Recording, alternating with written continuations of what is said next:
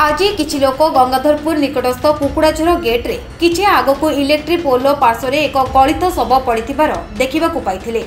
ଯାହା ଅନୁମାନ କରାଯାଉଛି କି ଶବଟି ପାଖାପାଖି ଦୁଇରୁ ତିନି ଦିନ ହେବ ପଡ଼ି ରହିଛି।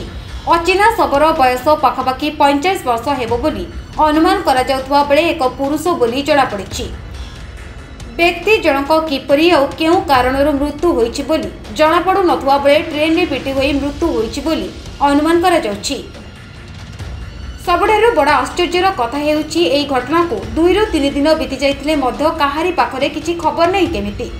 କ'ଣ କରୁଛନ୍ତି ଜିଆର୍ଇଏଫ୍ ଏଠାରେ ବଡ଼ ପ୍ରଶ୍ନବାଚୀ ସୃଷ୍ଟି କରୁଛି। ଶବଟିକୁ ବ୍ୟବଚ୍ଛେଦ କରାଗଲେ ପ୍ରକୃତ କାରଣ ଜଣାପଡ଼ିବ ବୋଲି ସାଧାରଣରେ ଚର୍ଚ୍ଚା ହେଉଛି। ବ୍ୟକ୍ତି ଜଣକ ରେଳ ଦୁର୍ଘଟଣାରେ ମରିଛନ୍ତି କି ତାଙ୍କୁ କିଏ ମାରି ଏଠାରେ ପକାଇ ଦେଇଛି ତା ତଦନ୍ତ ପରେ ଜଣାପଡ଼ିବ ବୋଲି ବାଲୁଗାଁ ରେଳବାଇର ଆଇଆଇସି ସୂଚନା ଦେଇଛନ୍ତି। ଚିଲିକାରୁ ସଂଗ୍ରାମ ରଣାଙ୍କ ରିପୋର୍ଟ ମେଟ୍ରୋ ଟିଭି ଓଡ଼ିଶା